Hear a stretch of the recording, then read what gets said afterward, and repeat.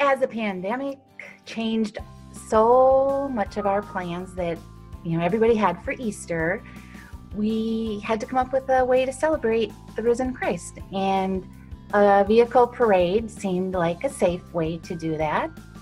And arriving at the the heights and seeing so many beautifully decorated vehicles coming up, seeing the flags in the Mary Garden, watching sisters from the inside looking out, and then seeing so many sisters standing outside with signs. And it was cold, and they were standing there. Boy, it sure filled the air with love and hope. And we may not have spent Easter with our children or our parents or our siblings, but we were with family celebrating a beautiful, blessed Easter.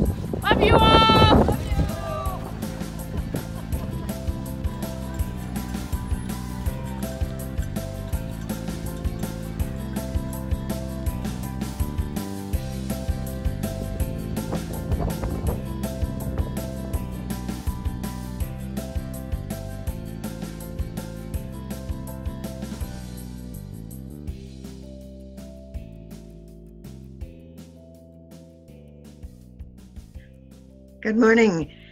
This is Sister Marilyn, and I work part time at the college and live here at Presentation Heights. And I've loved my experience here very much. On Easter Sunday, a lot of the staff from the Presentation Convent organized an Easter parade. And they what they did was they did it all in their cars and they drove by the mother house. And many of us went outside. Some of us carried signs, and all of the people who came by on the cars had signs on their cars. And the car, all their messages was for hope and peace and love. And so that's the way it started and it was very nice. The sisters all thought it was very good because they loved the staff and they were happy to be able to see them even though they were in their cars and could not talk to each other very much. Some of them might yell across, and that's the way it was.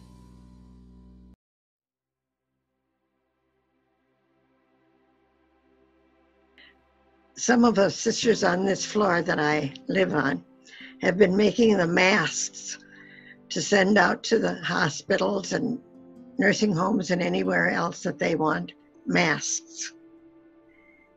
And I'm not very good at sewing, so I didn't help to with that too much.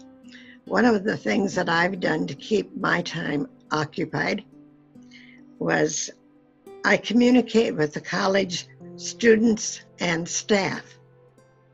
When the college decided to finish the semester online, the faculty had to change their course of action, what they would do instead of tests and discussions, and how the, to have the students do some of their final projects. Martin Abel teaches uh, the religion classes a lot, and he had some of his students write letters to the sisters to ask questions. And one of the questions that he they always asked was, "What led you to become a sister?" So I enjoyed doing that. I re- respond back to the student. Usually they wrote first and told a little bit about themselves, about where they lived, and what they liked about Presentation College. And I would respond by answering if they had any questions, like I would respond to their questions. Sometimes I would share about my own life. Because they had shared about theirs, I would share about mine.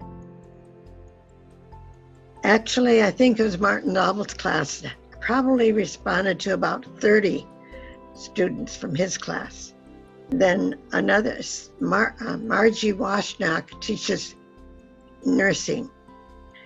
And she asked some of her students to write to us.